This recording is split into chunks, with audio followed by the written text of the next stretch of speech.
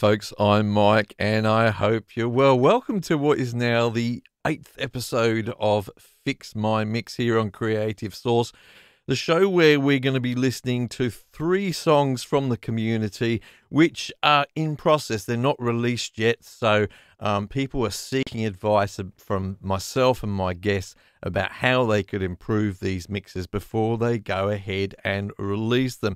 If you are in the live chat right now, welcome so much for being here. I'm just going to pop uh, a little message for you in the live chat right now follow the instructions there, and I'll be saying hi to a few of you later. Um, it's great to have you here, um, and it's nice that some of you are up, you know, late at night to be here. I hope I don't keep you too long.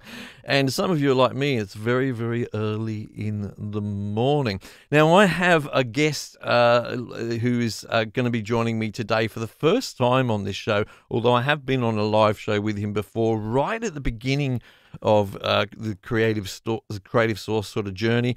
Um, and um, I'm simultaneously kind of uh, sorry for him and not sorry for him at the same time because for him it's 6 a.m. in the morning, I believe. Um, so I feel sorry for him. On the other hand, he's in Thailand. I don't feel sorry for him anymore because he wakes up in a, in a wonderful place. And I'm sure most of us wish we were. Um, so his name is Ron Ward, and he uh, has a channel which I've put a link for in the description called Homegrown Indie Live. Um, I feel a little sort of under pressure this morning and uh, a little bit nervous about having Ron on because live shows are a kind of a a side, you know, a side gig for me, right?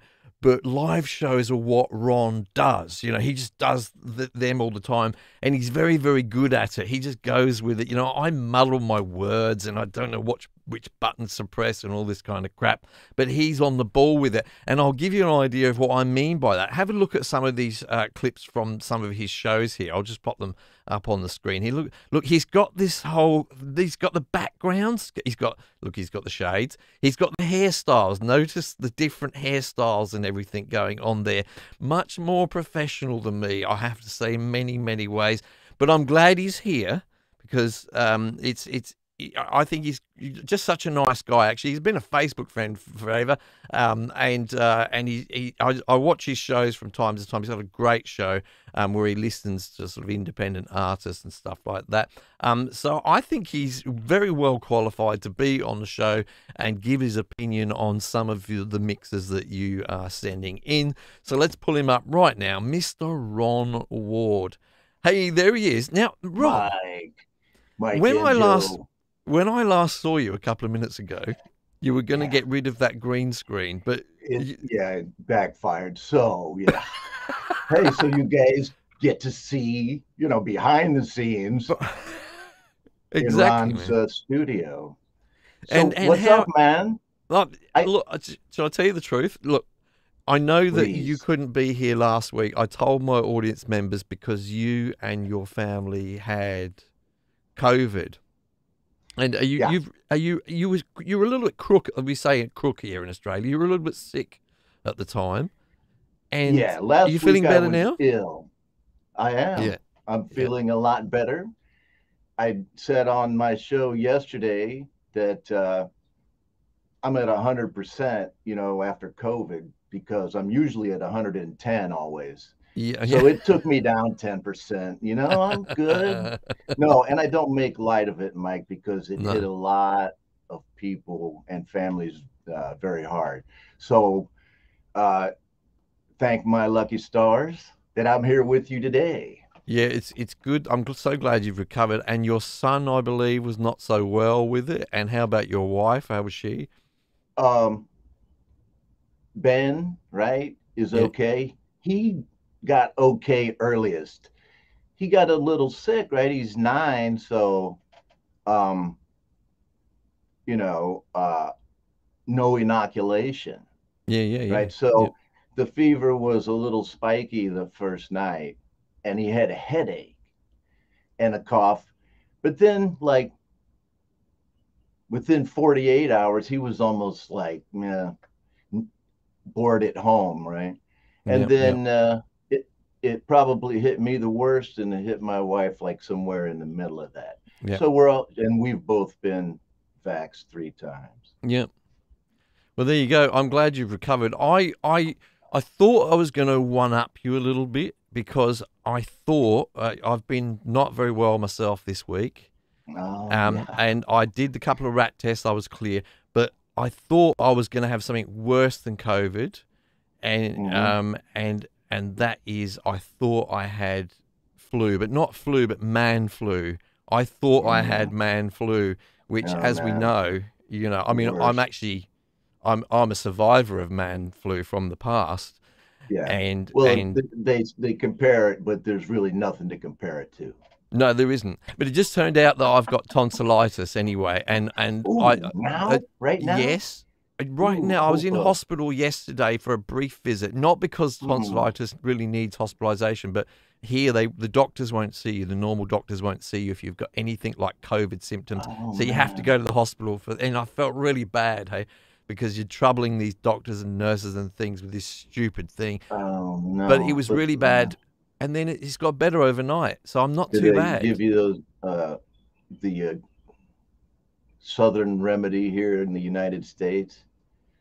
What's what's a, that? A, a good Kentucky sipping bourbon, and then you, know, you feel great. I, I tried rum. I tried rum a, a few times.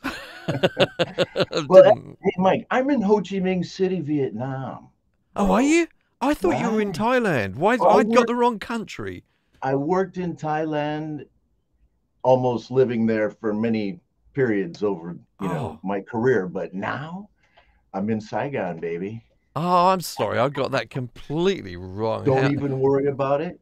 But know? how long have you been there for? Um, well, as me or as as Rock and Ron from Homegrown Indie Music Live, Just, or as just, just you in in in Vietnam. I started coming to Vietnam in 1992. Oh right, so yeah, and and and I I've spent a lot of time in Asia. I I spent a lot of time in Japan. I used to work in Hong Kong. Um, been to China and stuff. And and I wanted to ask you this actually because I always found the, the food's amazing, right? They eat proper food in oh Asia, my! Right? Um, Yeah. Amazing proper food.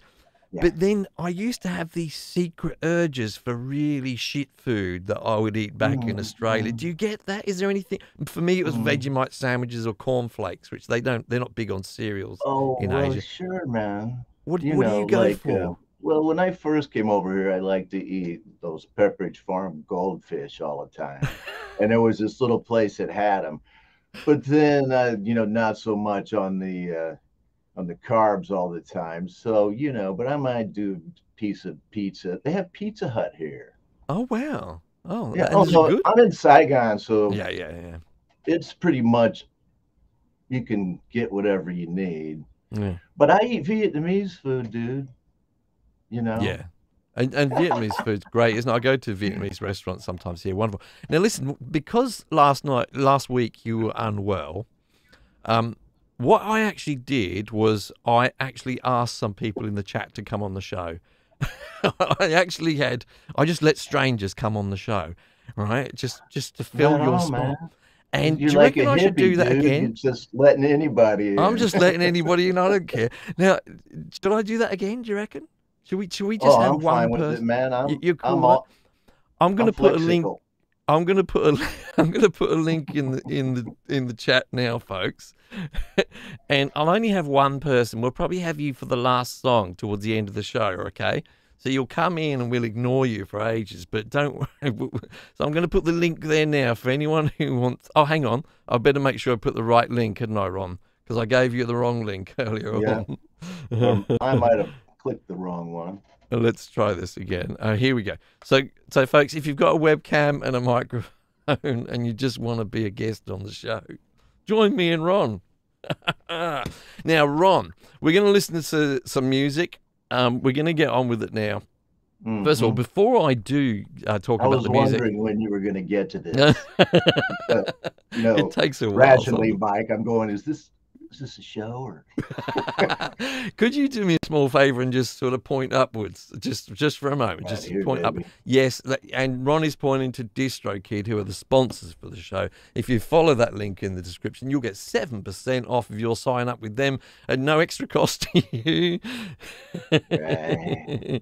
I'm glad you're putting the ring finger up there. This is my And- and- so um yes so the show um we are going to listen to three songs people people who have sent these songs in don't know that they're going to be on the show today i don't i can't be bothered to email Oh, I them. thought they No, knew. they don't know so it's going to be a bit of a surprise um Uh-huh. but uh, i thought that was nice but um so I, I don't really have any favoritism towards any genres of music or anything like that. I like to have all kinds of things on it. So we've got three completely different songs today to listen to.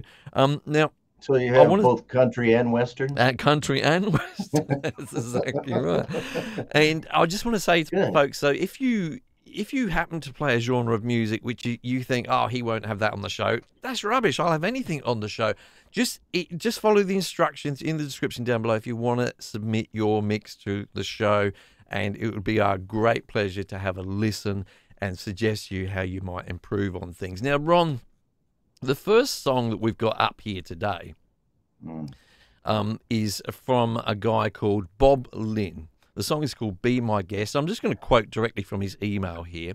He said, I like writing songs, hopefully for someone else to play or to sing. My guitar playing is, shall we say, not so great. Remember this. I think it's interesting that he said this.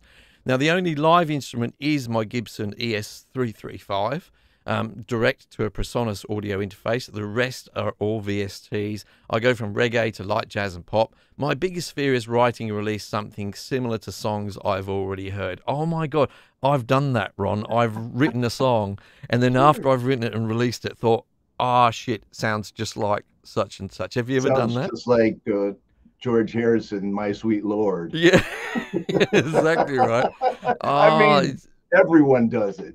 everyone does that. Yeah. So, Bob, I don't think you need to be too fearful of that. And he's playing a Gibson uh, 335, which is, even though I've got too many guitars already, and don't tell my partner Susie, the 335 is still on my did. kind of bucket. I, you know, she doesn't watch. She doesn't watch these shows. You know. oh, is, that- are you? Is is it the same in your household? It's like I could say almost anything on here, man. Be like, exactly. "Woo."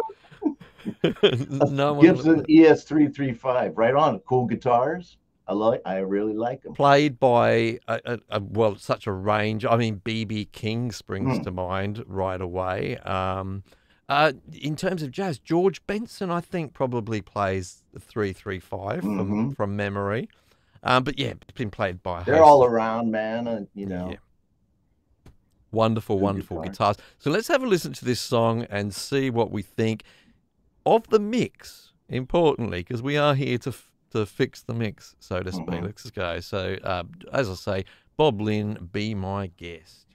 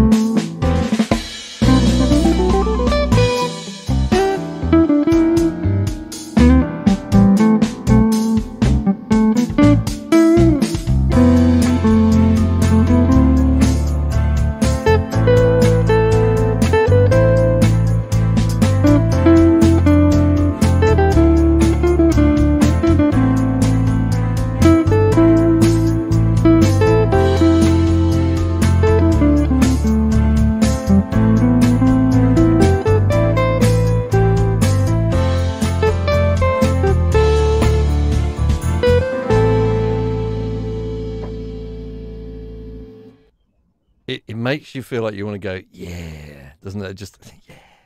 I love smooth jazz. Oh, so just I, I don't want to preempt anything, Ron. Here, you're the guest, so I want to hear your thoughts on this. How are you feeling that? Well, I'm a bit uh, prejudiced towards this kinds of music, Mm. and so for about half of it, I was just sitting there listening to it. but I, I mean, uh, an original piece is that right? I believe so, as far as I know. Well, man, I mean, um, it's well composed and well played. That's Mm. for sure. Mm, mm. And and the recording, to me, sonically, uh, you know, the levels all were good. I maybe could have used a little more stereo spread on the whole uh, mix, Mm-hmm. Mm-hmm. maybe. But uh, the guitar tone, Mm. It's a matter of preference, but I don't know, perfect. Or Yeah. maybe I would make it a little bit harder, Right. turn, or in some parts of it, right? But on a Mm. jazz piece, you're usually playing through on the same settings. You're not Mhm. going crazy on pedals like us No, rock and roll guys, you know. It's all coming from the guitar and the amp, yeah. And then in the later parts of the song, you know, the different parts of the piece, the rhythm guitar would change until he was doing this like a chinking thing at some Mhm. point. And then, you know, strings, oh, the those little keys, Mm, uh, the electric mm, piano or whatever it was. mm. I mean, would I have brought some of those in earlier to start um, spicing up the piece or varying the texture of it in the very beginning? Mm, mm, mm. Uh, I might have to listen to it a second time, but that did, that did, um, you know, come cross my mind. And then something about the middle part of the high tones. I don't know. You Right. could probably describe it better. Yep. Just maybe. description. Mm. Mm. So wonderful piece, and um, totally enjoyed listening to it.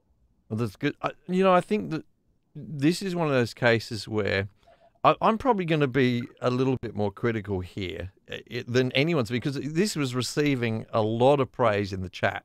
Thanks to everyone in the chat, by the way, for taking part there. Um, people were really loving this, and and I think that's because I think the guitar playing and the tone was really selling this piece. Um, I, I know that Bob said, or, or it sort of implied in his email that he wasn't much of a guitar player, but I've got to disagree with you, Bob. I think you, you you're playing that Hmm. better than I could for sure. It was really it was really Well, nice no for that genre of music. He's a So- professional grade. Yeah, it was good good playing and a great tone as well. Um, and I think something which, because I've obviously had the benefit of listening to this now a couple of times, and what I noticed, and I've got some notes here, it was most of this was surrounding the drums, because these drums are obviously, uh, as he said, you know, they're VST, they're not a live drummer. Hmm. And for this type of music, that's quite a big call because there's a lot of um, subtleties and nuance in jazz Right. drumming, you know. Right. And so I think, Bob, you've done a great job so far, but I think that for a start, I, I felt right at the beginning the hi hat was a little harsh. Can I just pop it up? I'll just pop it up again for a second. Just have a listen, everyone, to what I mean. Mm. It, it, so it, it was just feeling a little bit harder and harsher than than is normal for this style of music. And a Yeah, couple of things uh, for Bob, who if you if you're watching Bob, is is that it's not just the mix there. I mean, it was just a tad high in the mix, but I think you may want to look at some different kits and things with your VST instrument. If you're able to try out a kit with maybe brushes or something, I, I, I don't know if that's an answer, but it may just help because I felt that the drums were a little just harsh, is what I'm going to say. And that may be being emphasized by what uh, by what um, was said by Ron about these kind of high mids sounding a little bit harsh as well. So Um, but yeah, I, I, think that's the main thing that I would be addressing with this. It's not a mix issue per se, because I think, as everyone agreed, the mix was pretty good on this overall. Um, yeah, but yeah, the levels were good. Um, so that's a key thing in a mix is just to have that balance. But yeah, I would take a look at um, the drums, uh, both in terms of the, the VST that you're using, and you may want to program in a few more little subtleties in there. Just those little, uh, you know, flams and, you know, just those little offbeats that sometimes happen, say, on the snare or something, you know, just to get that feeling that this may be a live drummer because I can just hear at the moment that it isn't a live drummer. But you're close, Bob, I think. I want to encourage you here to, to dig into that a little bit more. I think it's a, it's a good, but nice smooth start to the show for this time in the morning, isn't it? Hey, it's a mm. it's a good start, Ron, isn't it? We're, yes. we're chilled now. Right. Great uh, song to kick off the show. I do agree. Mm-hmm. Yes. Now, um, when this is sort of really fully mixed, and he's, I think he's very, very close to it, then a great place to actually release it would be DistroKid, of course. And uh, they are the sponsors of the show. And this is all about the discount you'll get if you follow that link in the description. If you do follow the link in the description down below, it's going to take you to a special page on DistroKid with this yellow banner at the top. That banner is letting you know that you're going to get a further 7% discount off your first year if you sign up here. And let's face it, it's already very cheap. If we scroll down, we can see that a year's membership is $19.99 per year for an unlimited number of albums and songs. And so long as it's your own music, there are no extra charges, and you get to keep all of the royalties from the various platforms. Platforms like Spotify, Apple Music, TikTok, Pandora, Amazon, Instagram, Tidal, iHeartRadio, Deezer, and more. Oh, I've just noticed that Bob was actually in the chat, as is some good friends uh, we have in there. I'm just going to say hello to a few people, Ron, because I forgot to do that earlier. It's not very professional. Uh, we've got Jade Starr in in the audience there, uh, known to both of us. Wonderful, Jade. So nice to see you here, Jade. Not not too bad a time for Jade uh, on a on a Friday morning. Um, we also, I, I always like to say hello to um, the good people that are doing some moderation um, in in there because uh, it's really really helpful. It means that I don't have to do it, and we've got uh, well, Jade is a mod, and then we've also got Doug Kidder in there as a mod, and we also have uh, you're probably not familiar, Ron, but Mimo Japan, who's um, he, he's taking the limelight away from me a little bit on Creative Sauce. I'm supposed to be the Creative Sauce guy, but he's as a moderator and an admin. He people think he is me sometimes. They they they say hi, you know. So let's not be too kind to him because he's he's on my territory a little bit. Well, I've seen Mimo on your shows, and I have to to say mm-hmm. that a good moderator can make or break or a show or push it up to the next level. Absolutely. And a great moderator, because Jade's a moderator on my channel. Yeah, And she does. And I'm sure she is here, right? And um, you know, I've got great mods, Mark Tanner and uh, and Brian Yeva over there, and they just make me look good. You know, they would never let me go on with my green screen behind me like this. I know Jade's rolling her eyes. I thought my NDI out was going to work on this uh, or my virtual cam stuff. It's okay. It's, it's normal on this show for things to go wrong, wrong. So oh, I, man, it's hard to say too. that. Wrong, Ron. Wrong, wrong, wrong, wrong. Well, sometimes they say I'm Ron ready. Sometimes they say on some days I'm wrong ready. wrong Ron. That's exactly right. but you know, you've got to roll with it, haven't you? Hey, by yeah. the way, I just want to ask people who are here regularly, just on a little bit of a technical issue, because normally I'm renowned for freezing like this. My audio continues, but my vision often freezes, you see. So I've done a little bit of a different setup here today, and also with the tracks I'm playing. Give me some feedback for like regulars on the show. Is it any better than it normally is? Um, that that will help me out if you can give me that feedback. Now, moving on, we've got a completely different piece of music to listen to now. Very, very different indeed. Um, it, was, it was submitted by uh, someone called Steve Davis, uh, a follower of the channel, um, but it's actually uh, his whole band. Uh, the band are called, get this, I'm going to put it up on the screen actually. I love this band name Zen Fusebox. What a great band name. Just, it's always, it's always hard to get a good Yeah. band name. I like that one. Zen Good Fusebox. name. The song is called The Text, and uh, quoting from the email um, from Steve, um, it's called The Text by my band Zen Fusebox, based out of Florida.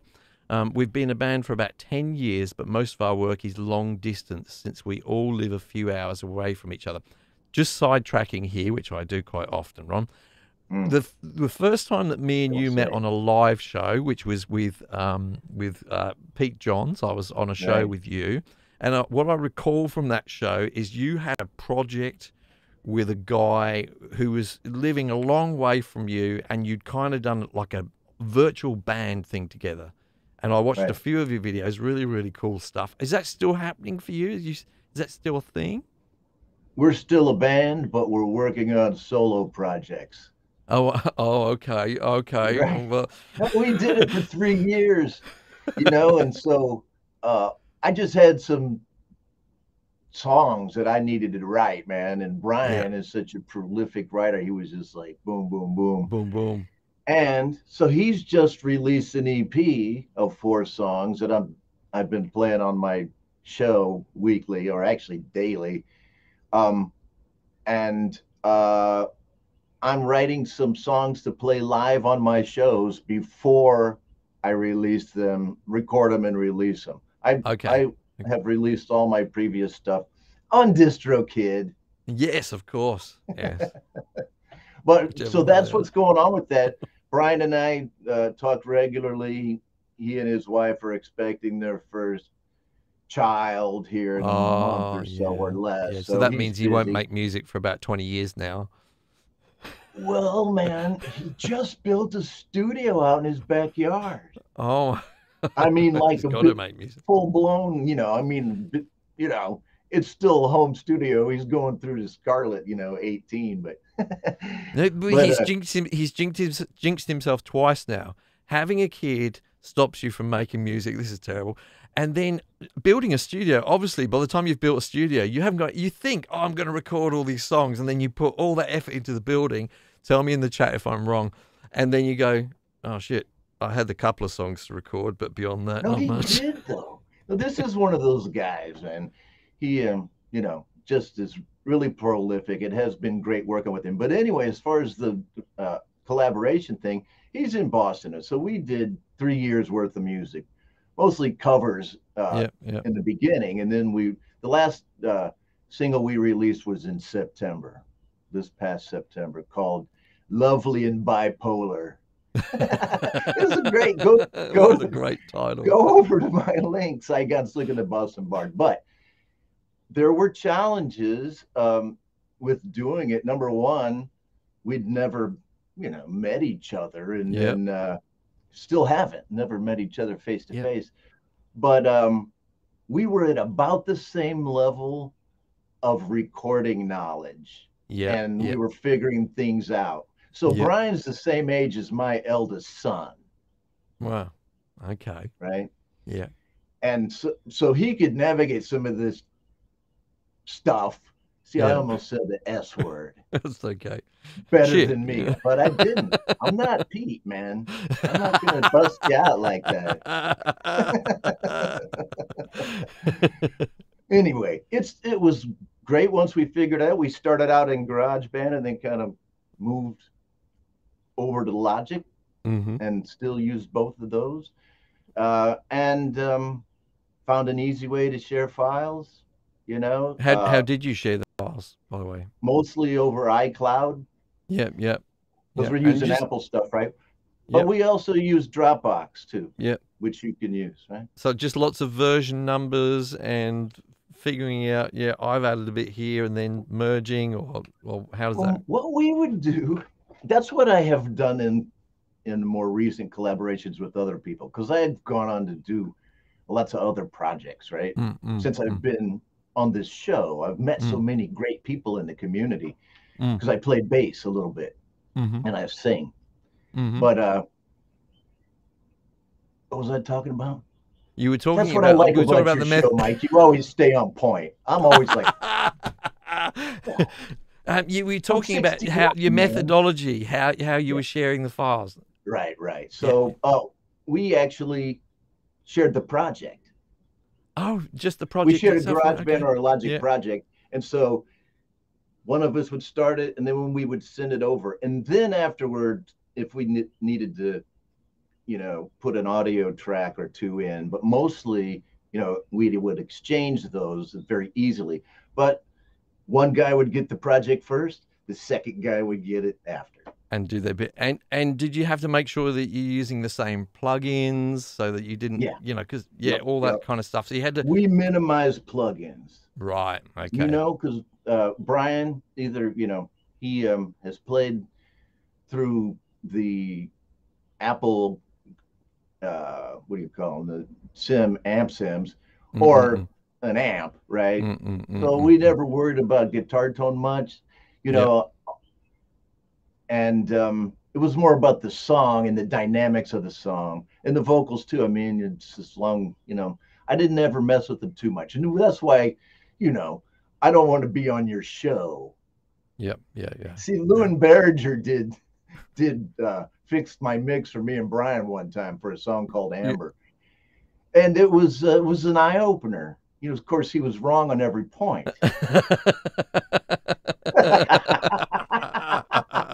yeah. Well, it's, no man it was great it was brilliant so uh it was, it's good to it, look. This the thing about the. Uh, Going completely off topic now, but the reason that I like doing this show is just so that people can get uh, a different perspective on their mix from someone who isn't their mum or their wife, Mm. right? Because Mm. those opinions are both not very objective and not very educated. So to, to get the chance for someone who's not, you know, we're not, let's face it, we're all home studio guys, but we've Right. got a little bit more insight than the average Joe. So hopefully that will help people. Hey, there's a question for you, Ron, in the chat, Mhm. which I've just noticed from Okay. Glenn Clark here.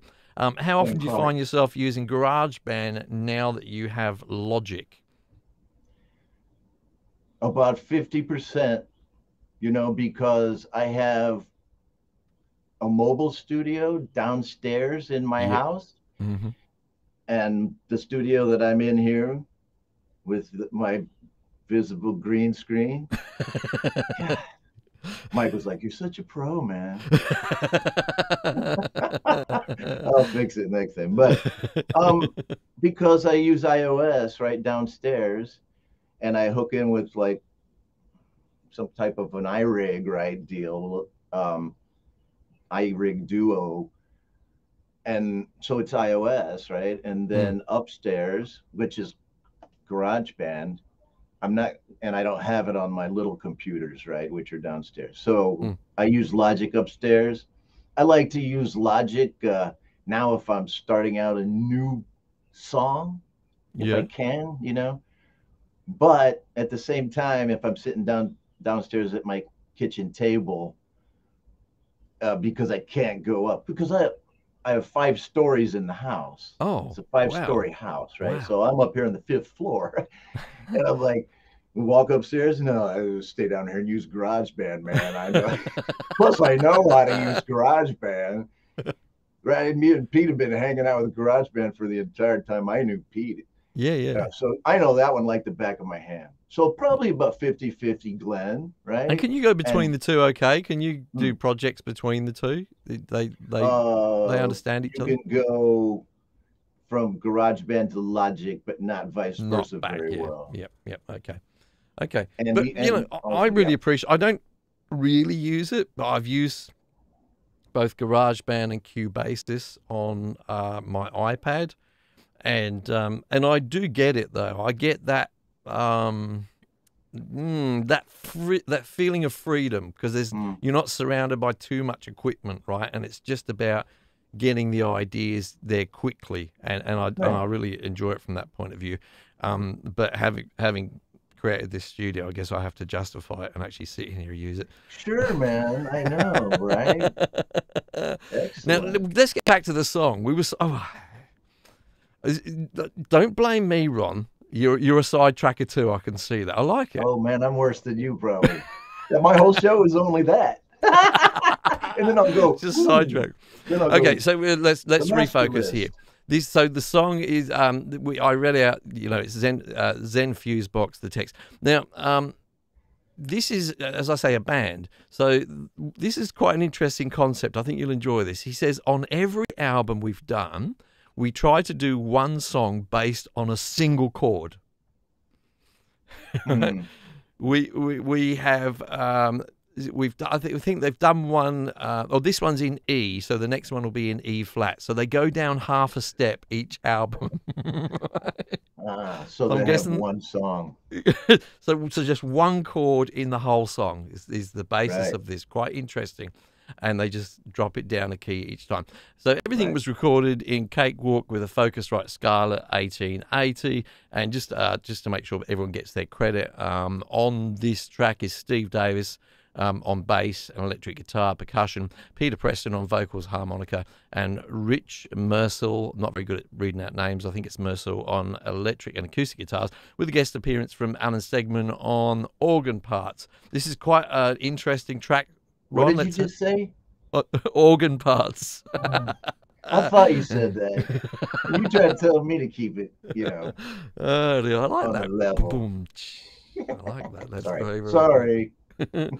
no, uh, look, I love a good organ part, especially if it's played well.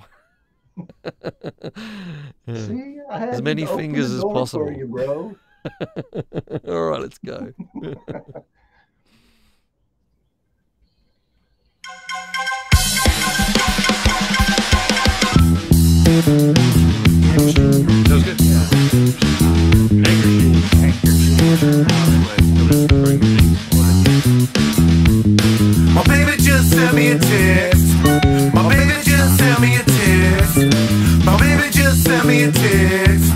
Wonder what happened next.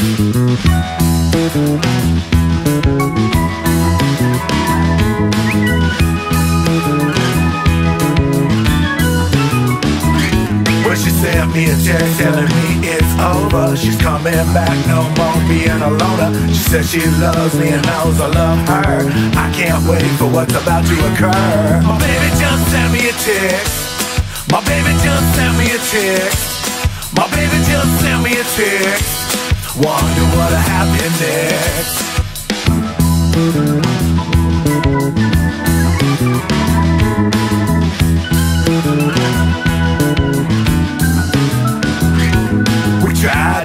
It just wouldn't hold. Our love was just too strong and bold. Being apart, well, it just wouldn't take. No use trying to lie, me fake. My baby just sent me a text. My baby just sent me a text. My baby just sent me a text. Wonder what happened next.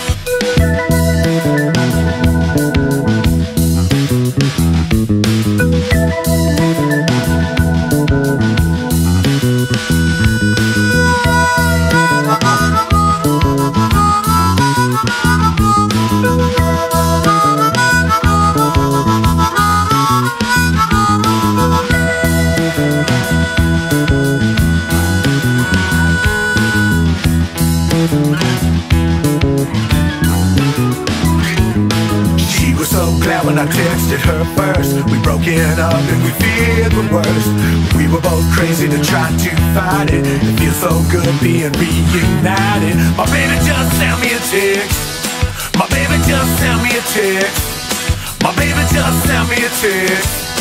Wonder what happened next.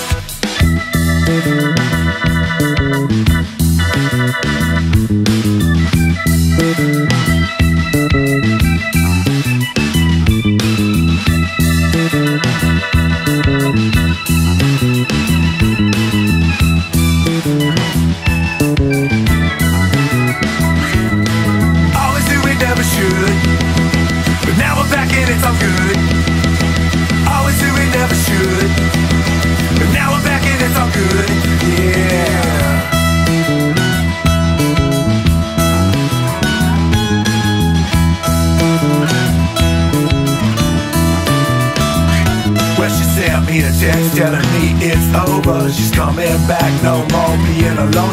says she loves me and knows I love her. I can't wait for what's about to occur. My baby just sent me a text. My baby just sent me a text.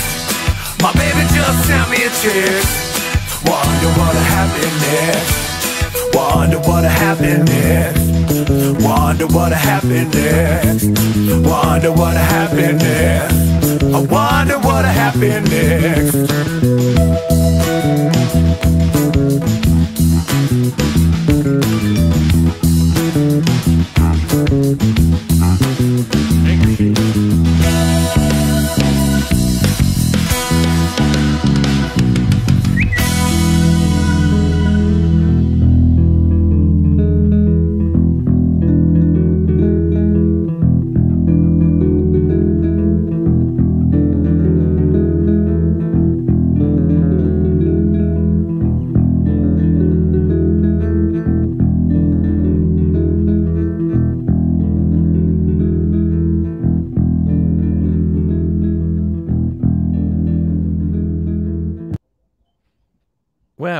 Chord, one chord we had there for like four and a hmm. half minutes.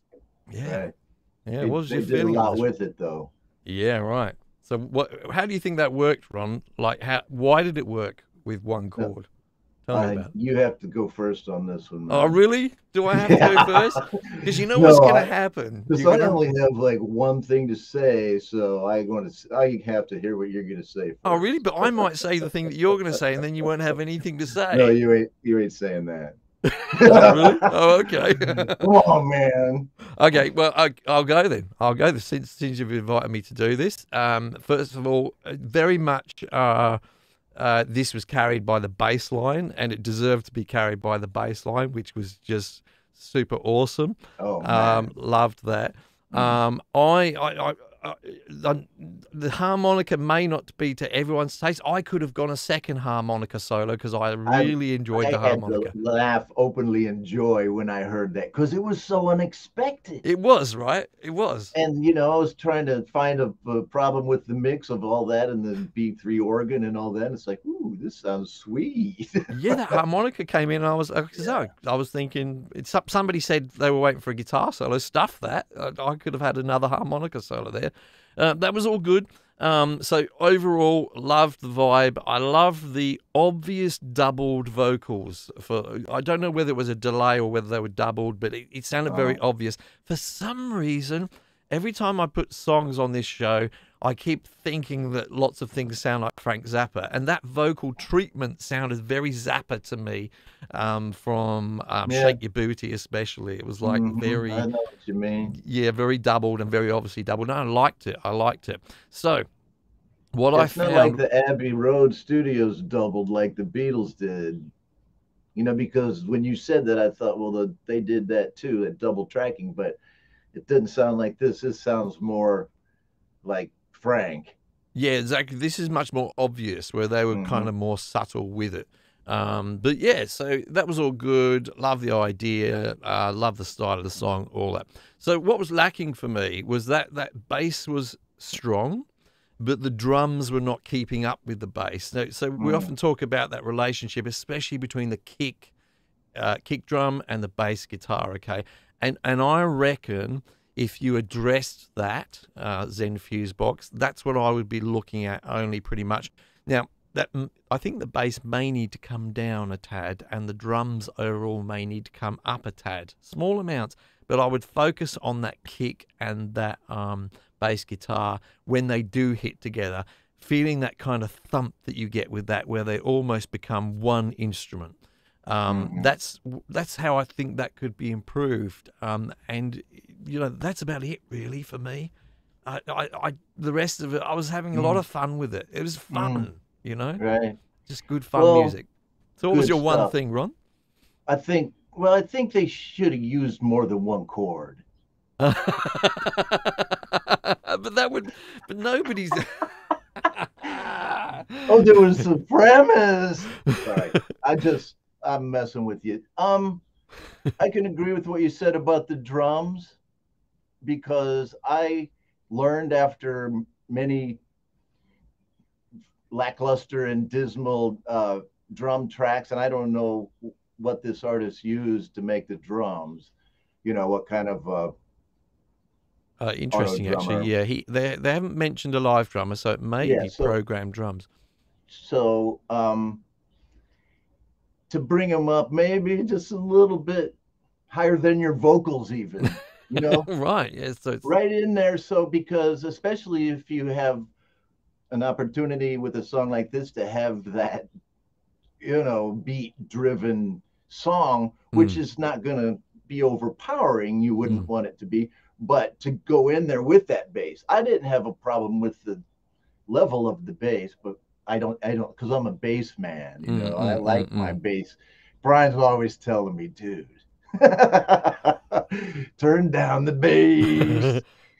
But well, see, I was more I was more stuff up. thinking that it was it sounded at the right level, but my concern is that once you push uh, the drums up and the drums felt like they needed to come up, that then you start fighting. You know, you get in that situation with a mix where you're Oh, continually man. pushing everything up. Yeah. You know, Sure. everything. And, and so, so my thing was bring that bass down, bring the drums Mm. up, and that they probably will sit together a bit better. But yeah, carry on.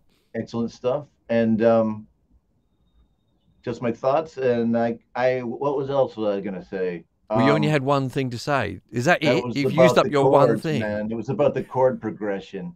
okay.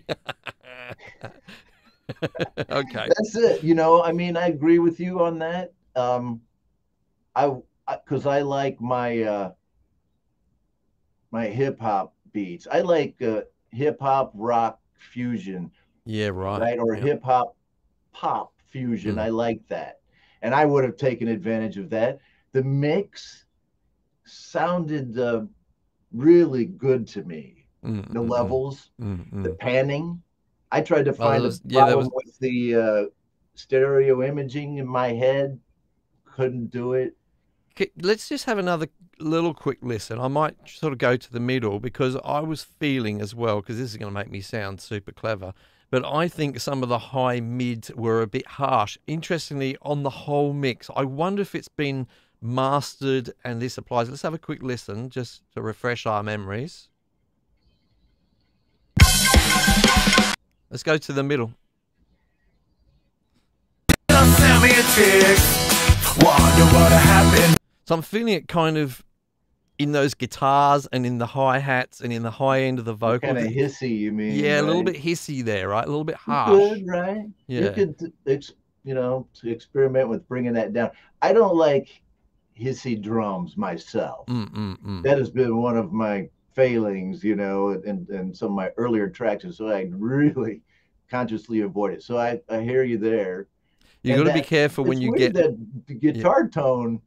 It's a cool guitar tone, but I can't place it, and it does. It sounds hissy, or maybe they meant it to, but you know, you do have to, you know, worry about the the listener and that kind of It's, irritation fa- of. it's um, fatiguing, isn't it? To, to, Mhm. when you listen to that for a long time, it's just tiring. Right. And now I don't know the ages of these guys, but it's something that when you uh, get a little bit older, sometimes the high end of your hearing goes a bit if you've listened to a lot of loud music. So you can tend to overcompensate with, with a mix, you know, um, th- where you're thinking, oh, there's not enough high in there, and you'll push it up, and and actually it is too high, and you're not hearing it. Um, and and that's why I do actually advocate. I know all of the top pros out there will say always mix with your ears, not with your eyes. But I do advocate some visual tools. I use Mm. um, uh, iZotope's Tone Control 2, where they kind of show you where things typically are for a genre of music, you know, and and it gives you a little bit of a visual guide. Are they I don't all- presets? Not it- it- well, yeah, you can choose some presets of genres of Oh. music. You can choose classical, and they'll sort of tell you where you know, say the bass and the mids and the trebles are normally at with that genre of music, and then they'll show you where you are. And I don't always follow it. Sometimes I look at it and I think, no, they're wrong on this occasion. But if I've been mixing for hours and I've lost my judgment a bit, especially, then sometimes I'll use that as a bit of a guide for myself. Um, but yeah, especially if, if you're old Nice. fellas like us and your your ears are stuffed, you know, you you, you got to take Oh, you have to watch. tools. Yeah, you have to be careful. You have to be That careful. used to be I let's okay, we just one 60 second rabbit hole. Yeah, go, go, yeah, yeah. I go. was in the Air Force for 20 years. Yeah. And the first 10, I was on air crew, and we would wear headsets continuously and look at these CRT screens, right? Yeah. Listening and looking. And there was a guy behind you that would like had a cow prod and shock you if you if you weren't watching everything. So you know, I just feel like this is second nature to me. But you have to watch. You have to watch things, right? Even, and it's, you know, kind of a no-brainer that when you're using a DAW, if it has visuals, man, you got to use them. Yeah, but uh, well, I agree with you to an extent. But one little mix trick that I have for you, and it only works if you look. I'll just grab my webcam here. If you've got like a control surface like this, it only works really. Um, and that's sometimes during the final stages of a mix, I turn my screens off completely, so Yeah, that I mix that's using true. that. Now that gives you a whole new. it- It's strange when you take the visual stimulation away and you only hear the sound you can hear different things in the mix. Really weird phenomena, but it's very prominent when you do it for the first time. You go, oh shit, that sounds different now. I've turned the screens off. But I do, I, I, I do advocate the use of visual tools when you can Sure, because you get fatigued uh, from the listening. Um, anyway, I don't know how many times I can say the word fatigue in this show. Uh, let's. Now, I, just a little vote in, in the chat down there. Who finds it a little bit scary um, if Ron was in charge of the aircraft you were on? Um, Let's get this clear. I was not in charge. not in charge. Okay. Hey, Ron, I was just thinking as you were talking about that as well. Um, and someone was asking in the chat way back, right at the beginning of the show, about which headphones you're using there. Um, they're AKG, obviously. Which ones are they specifically? They are the 240s, the K240. Look, I've got. I feel like I should change over now. Maybe I'll just have doubles, just to just to be. How about that? Yeah, just to fit in with you. They're good headphones, aren't they? And, and what I find about them. I have two sets. what I find, I'm, I'm about to do a video soon. I've been saying this for ages about all the headphones in my studio. I've got about 15 sets of headphones, and they're all good in different ways. But I think this one, these, will win for me in terms. They are actually very flat and they don't overemphasize bass. I'll say, but I will because they're the most comfortable headphones. I think they're going to win the number one spot for the most comfortable headphones because they're so light, aren't they? Hmm. You you don't know I wore these for three years. These very ones, Yeah. the first ones I bought because I looked around. Plus, I order online a lot, almost Mm. exclusively here in Ho Chi Minh City, and I can't get everything. So I Yeah. read a lot, and I got these.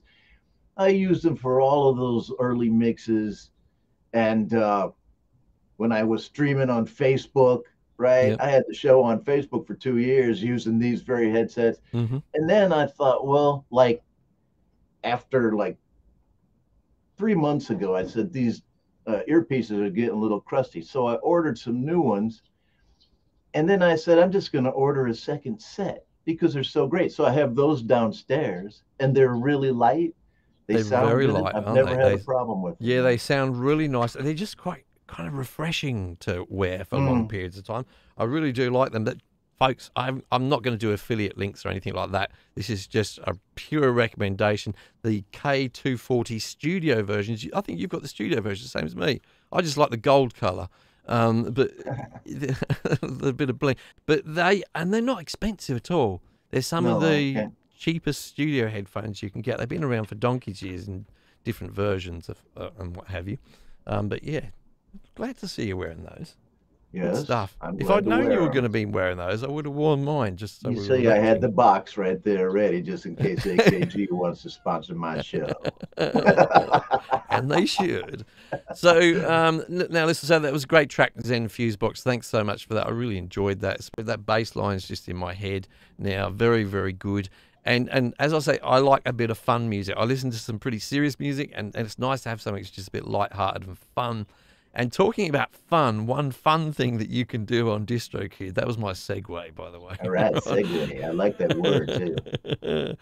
was yes, segue, segue, and fatigue. We've got all the words here today. Um, so one of the fun things that you can do on DistroKid is use the wheel of playlists to get your music on uh, a playlist on on things like Spotify or on Spotify, I should say. Which apparently, and I, I don't do this personally, I I'm, I don't try and push my music at all. I make it so that other people can hear it, and if they happen to find it, fine. I don't really do any promotion, but you should you should do promotion. Don't follow my lead on this, and take care uh, uh, take advantage of tools like this Wheel of Playlists from DistroKid. We'll take a look. One of the ways to actually get your music heard on Spotify is to get onto a playlist. Now, DistroKid offers a really fun way to get onto one of their playlists with their Wheel of Playlists feature. Simply head over to your DistroKid account, go to the top right where it says Goodies, then go down to Wheel of Playlist, and then you start off simply by selecting a song, something you've already released, and then click on Connect with Spotify. Now, obviously, the further up a playlist you get, the more likely people are to actually hear your music and enjoy it. So what DistroKid do here with this feature is they give you three chances to spin a wheel, a kind of a wheel of fortune type of thing going on here. Now the best result of those three spins determines your number in the playlist. And as I say, the higher up you are, the better. So on this occasion, I achieved 1088. You can try every every day if you like. So maybe that's something you'd like to do to actually get your music music in a playlist on Spotify. You know, it's it's morning time here, uh, and the kids are going off to school, and Susie's in mum mode. I can hear her from the kitchen. I don't know if anyone. The kids are getting yelled at for some reason. This is live. This is live. oh man, I know it happens to me all the time. And my studio is really noisy. I do, you know, I'm not famous for having a quiet studio dogs bark and and the the school I have schools like all around me, it seems like, and they have speakers in the morning and they say stuff in Vietnamese. and it gets on my songs, man. So I just decided to sample it, man, and just Did go you? with it. You know, my it. noisy run with it. Noisy Absolutely. studio. Yeah. So that, no, yep. No, no, you, no, you go, you go. What were we talking about? Okay. Um, oh, we should, we should, we should talk about the final song. I'm sure we'll get, uh, we'll get sidetracked. Um, right. the, the, the, final song is uh, not a genre of music that I normally listen to, so it gets more difficult to to judge uh, things, I suppose, if judge is the right word, um, to evaluate things when when it's not a genre that I normally listen to. So this is. Um, some electronic music. Now, it comes mm-hmm. from, it was submitted by uh, gentleman called Marcus Little, and he but he goes by a kind of a band name, even though it's just one of him. Um, and that band name is Electronic Orchestra. Let me pop it up on the screen. And the song itself is called Groove Bug. Now, uh, Marcus says, I'm Electronic Orchestra. I'm from Georgia. I don't know whether he means Georgia the state or Georgia the country, um, but, you know, either way, good stuff. Um, have you ever been to Georgia, the state, Ron? You probably have. No. You've never been there. I've been down to Georgia. Uh, the devil went down to Georgia with me. no, and uh, it's good, man. Great, good people down there. Was good he looking for a soul to steal? Yeah, exactly, exactly. But I didn't have a soul, so no. Anyway, he wasn't worried about you. That's why you were with him. Well, I, I have not been to uh, Georgia, but I was on CNN once.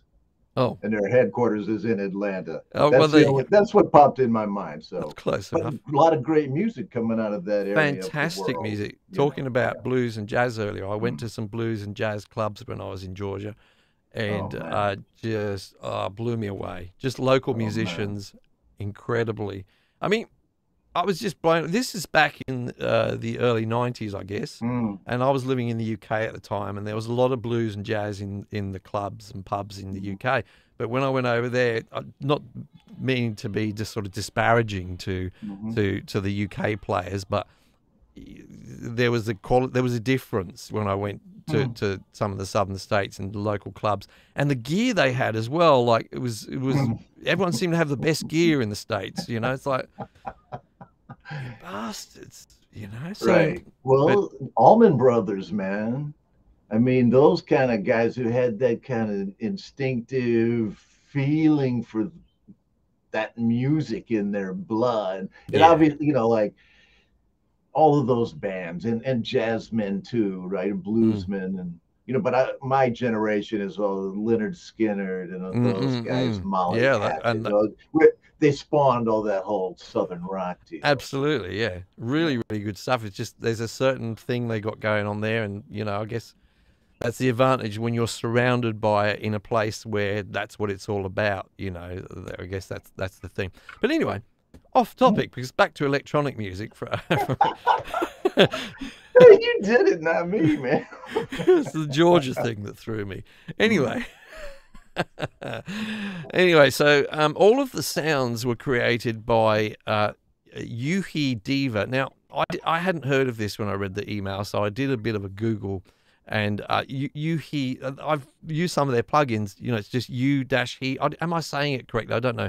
Yuhei, Yuhi, Diva. Anyway, it it it's very much it, the whole thing's created with this, and it's it looks very much like an old analog synthesizer. What I was looking at there, you know, just lots of knobs that I wouldn't know what I was doing with it, you know. But I dig it. I love that people create their own sounds and they know what the hell they're doing with it because I don't. That that's amazing to me.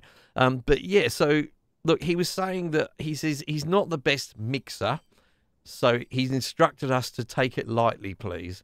Well, we we don't take instruction, but but I'm sure we'll go, go lightly. So uh, yeah, piece of music called Groove Bug from Electronic Orchestra. Let's have a listen.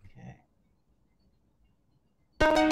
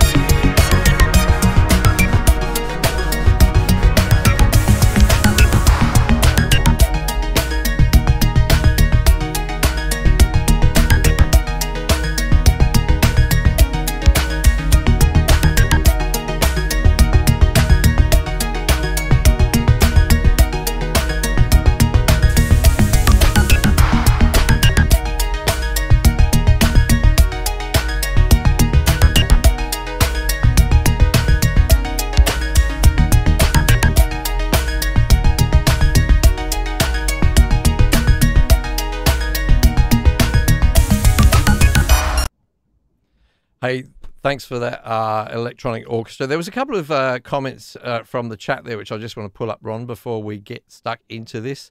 Um, there were some suggestions there, which I thought were kind of interesting. Um, there was one there, great sound. I think some reverb may do wonders. Also needs a demastering de-esser. uh, Sorry, a mastering de-esser for those sharp pokes in the highs. Good suggestion there. I like Mm. that. That's that's an interesting way. To uh, use a de-esser on a synth, Well, to use a de-esser on the master there to, to take the it- master. So it's uh, when it aspirates or whatever you call that, and it hits that kind of. You know, I noticed that on a mix that you and Pete were listening to that you guys didn't say, but I thought one of the vocal recordings was over uh, compressed, making that those Yeah. S's and T's just like yeah, yep. you know and Yeah. so i see what he means uh, Yeah. about that that kind of a sharp edge on the uh, on the synth the Mm, one that mm. plays the kind of lead riff throughout the whole Yeah. uh, track Yep, yep. And another Mm. suggestion there, um, which I thought was interesting. How about adding some ethereal vocals, no lyrics, Mm. just sounds? Yeah, that's that's an i interesting the suggestion. same thing man It could really could really work. Yeah, it could really work. So, so, but what were your impressions overall there, Ron? You go first this Um, time. good you know i love edm um, i play it on my show all the time Yep. I think they could have he could have brought it to the next level. Um, if he would have added some vocals because EDM music, unless it's trance, and I guess this is more trance, but even trance, to have vocals, even if it's vocal loops in it, and then some um, apart from the bass synth and then the riff synth, there were these little kind of poking pads that were kind of just only in my left ear at some point. But I thought there needed to be a mid pad a lot of the time more, and then not just on the left, you know, Mm, maybe mm, mm, somewhere mm. there. Mm. And then, uh, and yeah, other than that, okay. You know, Okay. I, I like that kind of stuff. I love listening to it. Uh, it seemed like there were another couple things, but I maybe I'll think of them when I hear you talk.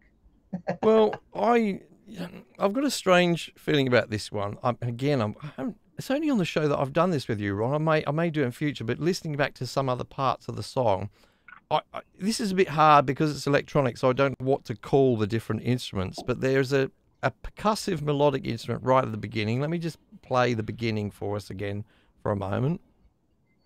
Hmm.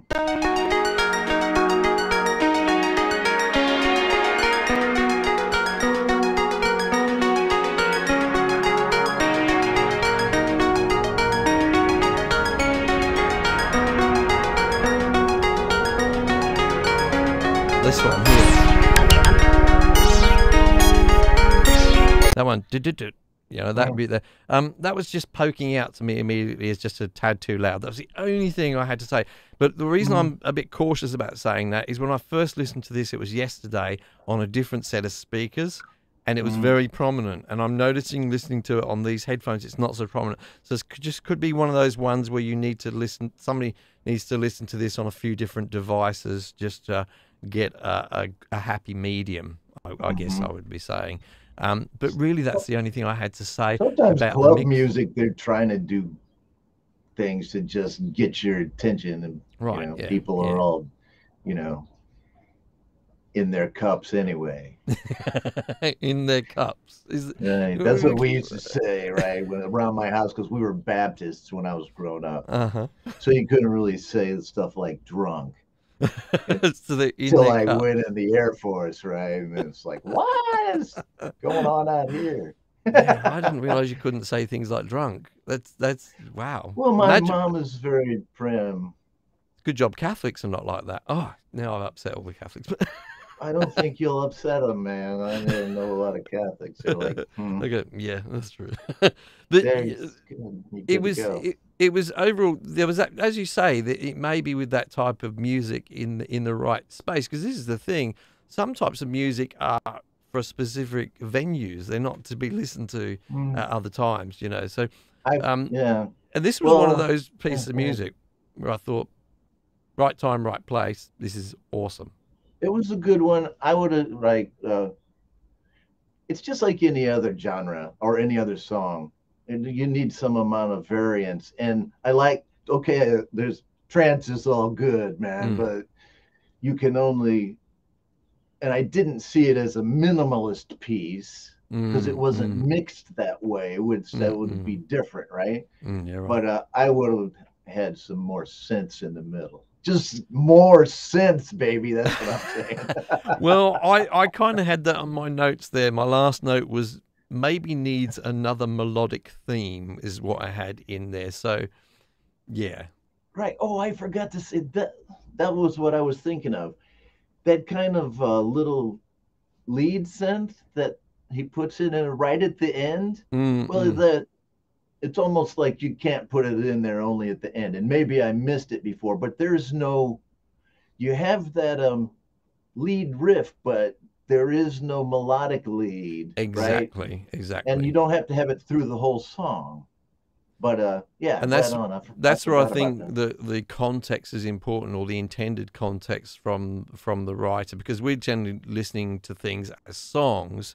that. Mhm. Whereas if someone said to me, "Oh, this is kind of a more of a backing track for a game or something like that," Right, then I might go, "Okay, don't worry about the melody because that would be too distracting." You know, we just need a groove or a riff or Hmm. something happening. But if this is, and, and I guess the same could be said when you're, if it's just intended for dance. But on the other hand, but just listening to it was my feeling was Hmm. I didn't okay. see that as a dance track though. No, no, it wasn't even the right. you could tempo. possibly dance to it Mm. if you were really stoned. exactly, exactly. And you may think it was faster than it was, but but the thing about it is is is just from a listening point of view, it felt like okay, there's some great sounds in here. The mix is good. I like the style. It's a little bit retro, you know. It does have that kind of Kraftwerk thing going on a little Yeah, bit yeah, yeah. and all that's good, but um, here's a thing. Uh, this probably doesn't apply here, right, Ron? But I, I I love Tommy Emmanuel, right, the guitarist Mm, Tommy love him. Emmanuel. He's Now he had a close relationship with Chet Atkins. We couldn't be more than a, we, I mean, millions of miles away, miles away from this genre, I know. But Tommy Emmanuel said what he used to call Chet Atkins and say, "Hey, I've got a new piece," and Chet Atkins would say, "Could I sing it?" You know, like, could I sing it afterwards? And and, and I, that that stuck with me as a great story. Like even from because Tommy Emmanuel doesn't sing, but you know he plays melodic pieces there was nothing from this last piece that we just listened to where I go away and there was like a theme to it which I could sing in my head or whistle as I was walking around the Mhm. house, and that's that's the only thing I think it needs added to it. Uh, And this is more. This is not anything to do with the mix. This is to do with the uh, arrangement and the composition, really. But yeah, Okay, well, so let me ask you this along those lines. What would you say the primary hook is in this song? Right? In five it's, seconds. It's that um, doodle doodle doodle doodle doodle doodle doodle doodle doodle doodle doodle doodle. so that that ongoing riff that doesn't change that much. Mm, mm. Right.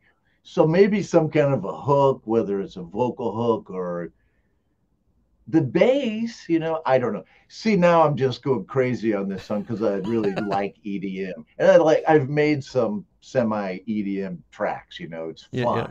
It's great. Yeah, So yeah.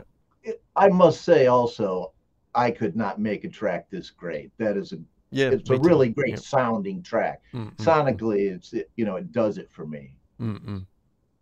Yeah, It- yeah, I agree with you there. I mean, I, I've tried my hand at these things over the years, but not anywhere as good. But but anyway, that's our perspective for the first time listening to it. So I hope that was helpful to uh, to Marcus from Electronic Orchestra. Now, Ron, Mhm. you have a show coming up, don't you? Like in the next, is it in forty five minutes time or so from now? Yes.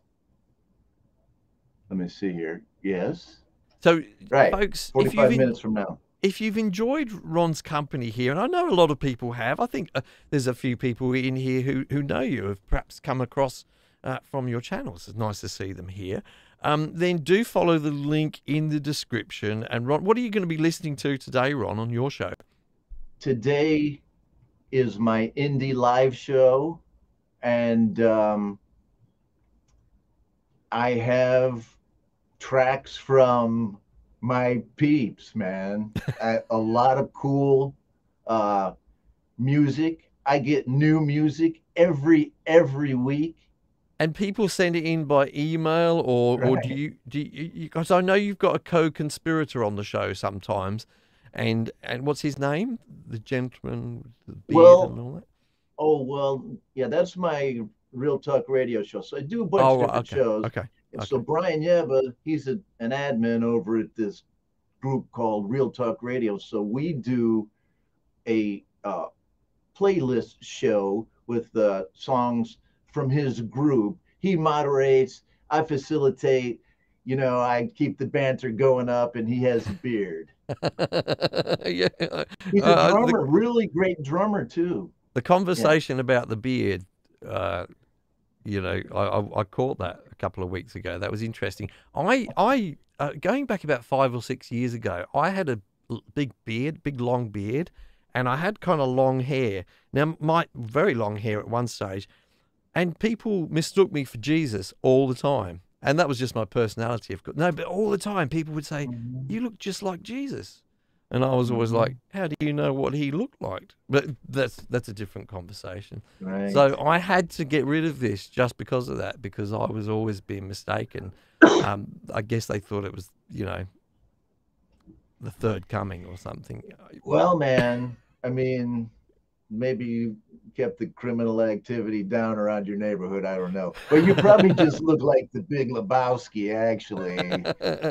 The dude, right? it, it was good. I what I did notice though is having both a beard and long hair. It's a lot of work. It's like a lot of work, you know. Unless you just let it go. I mean, people don't realize that it gets. First of all, when you first grow, it- the itchiness. or It's Uh-huh. almost like saying, "Don't do this, don't do this," because then you get through the itchiness. But long hair, you you have to take care of that Right, every right. day. Yeah, yeah. Yeah. it's, it's a lot of Well, it's like women, right? I had long hair when I was before I went in the service, and uh, really long. And you got to wash it all the time, or you All look like, a, or not, right? and then you look homeless. Yeah. Right. So I mean, I had a really big beard after I got out of the Air Force, and I was in the job where I would go into Vietnam and look for the remains of uh, dead, you know, missing American servicemen. Right. And so Yeah. I was all grizzly Adam'd out. I had a big beard. I had like all the like Laotian scarves and things and big ass hats.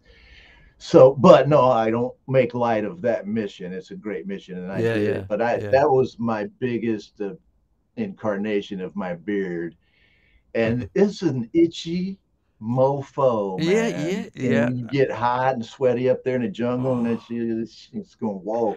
So I decided to, you know, keep Yeah. it off. But if I, you know, I already look young. And yet you But do. if I shave my for, a, for a guy of I look 85, you look amazing. I look so young, man. I, you know, just look way younger than you. So I don't want to. well. I, I, I, I, make you, I look, You and I, Pete look bad. I, I don't know, man. I, I, most mornings I just look and I go, yeah, that's pretty bloody good. Really, I'm for somebody who's abused himself so much over the years, I'm doing okay. Yeah, man. I mean, I'm knock on wood. I'm still still kicking, and yeah, uh, absolutely. it's it's lucky I don't make a living using my face. yeah. Okay, But so well, I mean, it, can I just plug my show then? That's didn't what I want you to do. Yeah, plug it. Okay, so down in the description, go to my channel, right? And if you're not one of my uh, usual suspects here who's with me, go check out uh, my channel. I have three to five weekly shows, usually four weekly shows, It's amazing. right? Mm. And um, at different time slots. I have one that's a good time slot for Europe and the UK, two that are good time slots for evening in the US, and actually, yes, all of the rest are kind of evening in the US. So I play songs from any kind of home recordist. I don't care what DAW it is, or Mhm. even if you made it in a studio, indie music, people who are unsigned, people who are writing and making their own music. Come on over and I'll play your songs. And so this show and others I've seen like it and other groups on the internet or for critical listening of music definitely needed and a lot of people dig it, right? Yeah. What we absolutely. do over there is just kind of um we we celebrate each other's songs Yeah. in a way. Does, does, does that sound like I'm a hippie? Well, No, it sounds great. Sounds great. No, but because, right?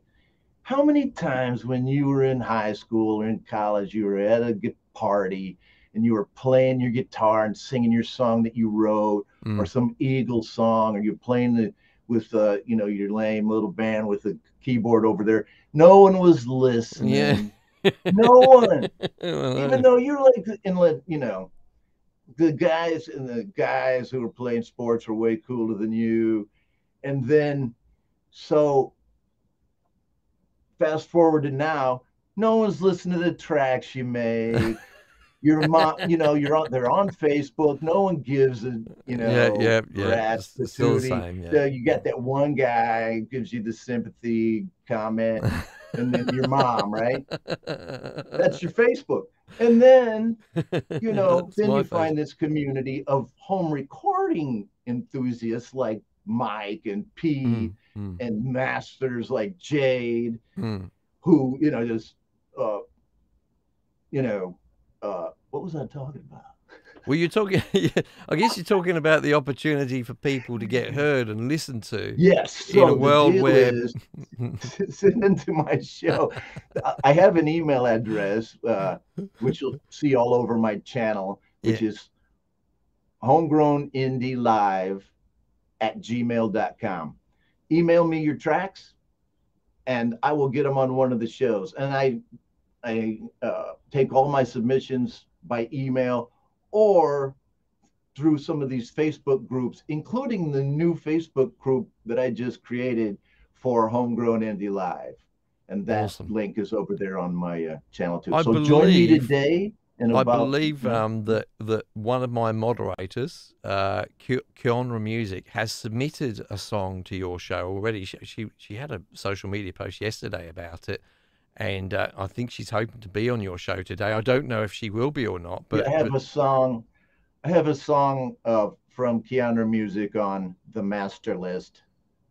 cool, cool. So everybody who's seen Kianra around my uh, uh, community, uh, I've never heard any of Kianra's music. So everybody has to go to your show today to have a listen, and hopefully it will be on Well, there. Keanu said she had one song that was ready, Right. and she sent me, you know, a link to it. And uh, so, yeah, here's the way it works usually people send in a lot of tracks. The people who show up in the stream get priority. Yeah, so and my my shows are two hours. I cut off Mm, at mm, two mm. hours. And if you're there you're probably going to get your song played. If not then i still play those songs on a subsequent show or i have video magazines on the channel sometimes where i'll just play uh, some cuts from songs that i haven't been able to get to so that's basically what it is over there and me talking craziness a lot of great talented people in uh, the chats always, just like you have here. And uh, yeah, please join me.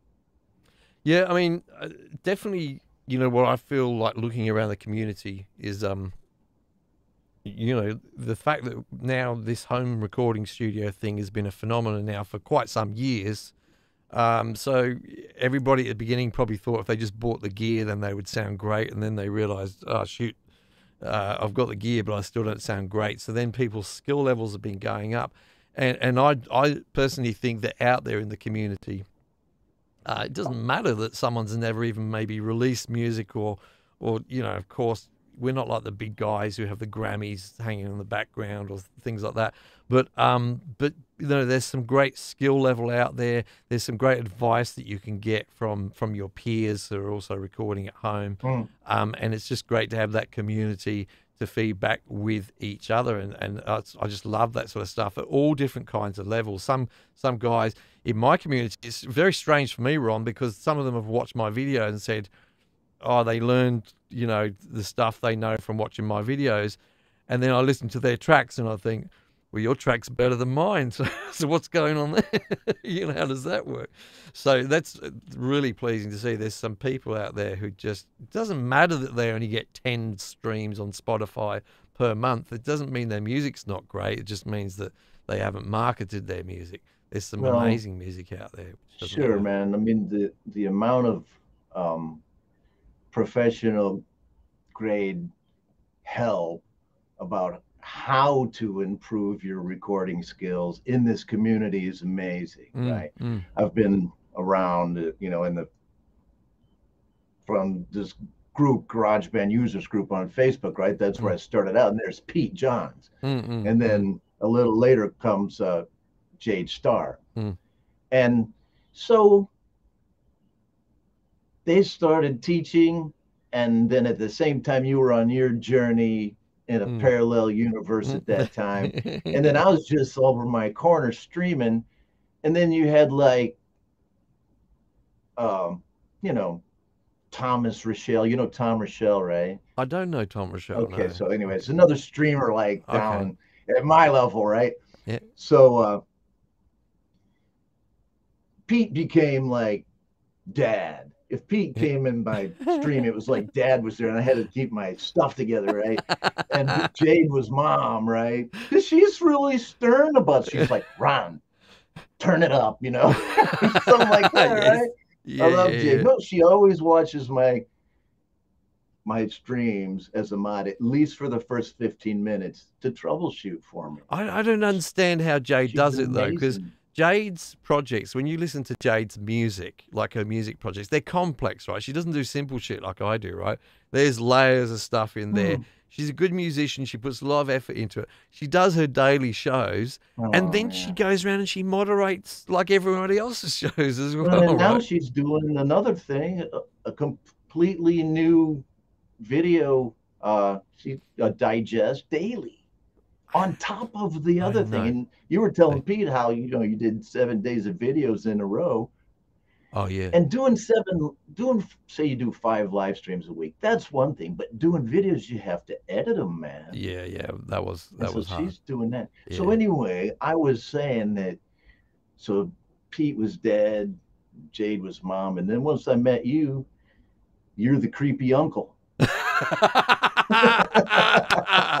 oh yeah, yeah. Yeah, I actually don't mind that tag. I, I can run with that because it's something I can live up to, you know. You, well, let me put it. You and Metalhead Hippie, okay? okay. You know Jeff. You know Metalhead Hippie. I don't Oh, know. No, no, it's, okay. it's the other another other guy in our world. in your there, man. world over there. well, thanks for that anyway, Ron. Look, it's Uh, been heard it here. it's been an absolute blast. I've had it's just been a joy to have you on the show, Ron. Will you come back again if I ask you? Yes, I. Well, I'm not going to ask anytime. you. So, yeah, because of the green screen, right? Well, No, I no, want I love tell my viewers too. Come to my show, and I actually have stuff behind me on the green No, yeah, that's what I was trying to show in the clip, wasn't I, at the beginning? I'm going to pull it up again just, just so that we can give Ron a little bit of fair play here. Um, Ron is normally a, a person who he's not. He's always a person. Let me try. It's, the system's not letting me do this. Okay, system. Okay, well I can't do it, Ron. But Okay, yeah, you're. cool. oh, here we go. No, here we go. It's come up finally for me here. Let's go. There he is. Oh, he's got. hey, look at this. my bling. It's all happening. Like there's a lot of effort goes in there. Let's look again. Look, there's a lot of effort. So normally, I was expecting that today. I thought he's going to come on there. He's going to outshine me. Because are you using OBS? No, I'm not using OBS. is it? No, I'm just straight, straight in, just webcam plugged in. Just that's it. Nothing.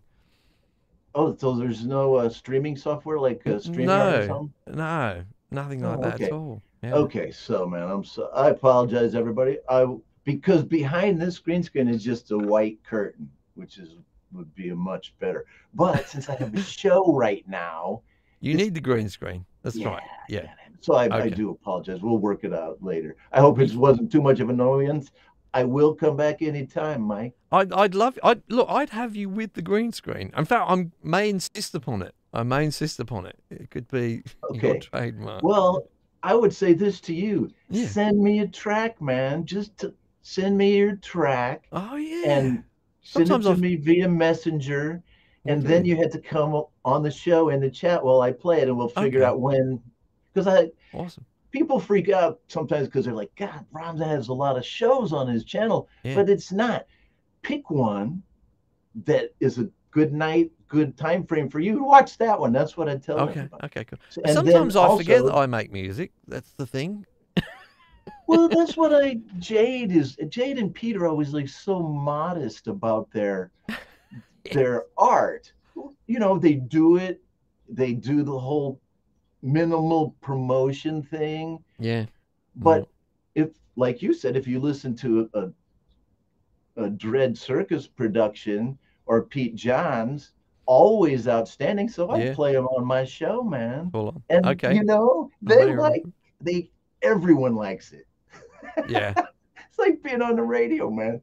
So and it's fun, you know. We mess around. So I hope And you, you do. do have fun. I, I like that about you. Every time I, I used to watch on Facebook, I didn't chat very much with you, but I used to have you on there just, you know, when I'm doing things. It's always fun with you. And that's good. We need more fun in music. When it stops being fun, you won't see me around here anymore. uh, anymore so. But this was I fun, like. Mike. Thank you so much. Oh man, it, it was a pleasure to have you. I will invite you on again. Thanks so much to everyone who's been in the live chat and listened to us waffle on.